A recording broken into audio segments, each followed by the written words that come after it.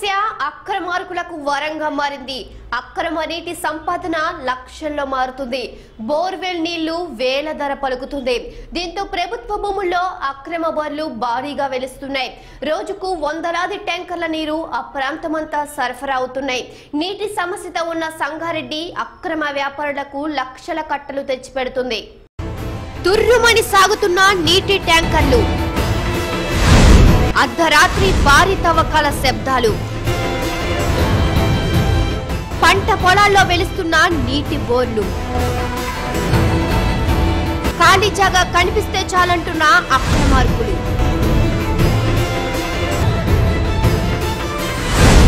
సంగారెడ్డి జిల్లాలో మంచినీటి సమస్య ప్రధానంగా ఉంది. దాన్నే క్యాష్ చేసుకుంటున్న కొందరు దళారులు తమ మెదడుకు పదును పెట్టారు.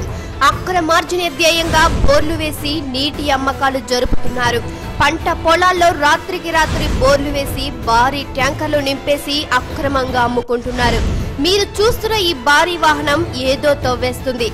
అవును తవ్వుతుంది నిజమే. జలం కోసం జాగ్రత్తగా లోతుగా దూసుకుపోతుంది. నీటి కోసం తవ్వితే తప్పేముంది అనుకునేరు. తవ్వుతుంది. జలం కోసమే అయితే వచ్చే ఆ జలం అమ్మేందుకు అన్నది మాత్రం పచ్చి నిజం. సొంత భూమిలో తవ్వకాలు చేసి బోర్లు వేసి నీటిని తోడుతున్నారు అంటే కూడా పొరపాటే. ప్రభుత్వ భూముల్లో భారీ బోర్లు వేసి భూగర్భాన్ని కూడా పీడేస్తున్నారు అక్రమ నీటి వ్యాపారులు. అడ్డు అదుపు లేకుండా క్యూసెక్కుల నీళ్ళు అక్రమంగా తోడేస్తున్నారు. భారీ ట్యాంకర్లలో జతర ప్రాంతాలకు తరలించి లక్షల ఆదాయాన్ని దుండుకుంటున్నారు. భారీ వాహనాల్లో తరలిపోతున్న నీళ్ళు అన్ని చుట్టుపక్కల ప్రాంతాల వారికి అమ్మేందుకు అక్రమ బోర్ల ద్వారా నీటిని తోడిన వ్యాపారులు లీటర్ల లెక్కన అమ్మకాలు జరుపుతున్నారు. ఓ ట్యాంకర్ నీటికి నాలుగు వేల నుంచి ఐదు వేలకి అమ్ముతూ కాలం గడిపేస్తున్నారు.